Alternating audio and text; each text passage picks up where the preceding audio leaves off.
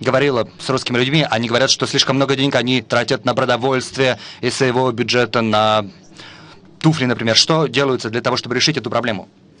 Для того, чтобы решить эту проблему, нужно развивать новые технологии.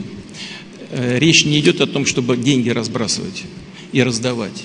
Речь идет о том, чтобы наша экономика генерировала больше доходов, а люди получали больший доход, соответственно.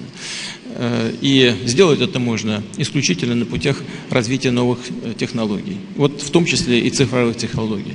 Проблема, о которой вы сказали, действительно существует.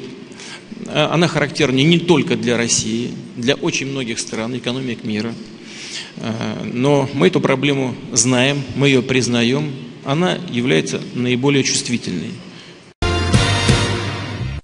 Сегодня носителем прорывных новаций очень часто являются малые компании, так называемые стартапы. Я обращаюсь к руководству наших крупнейших компаний. Активно используйте открывающиеся возможности.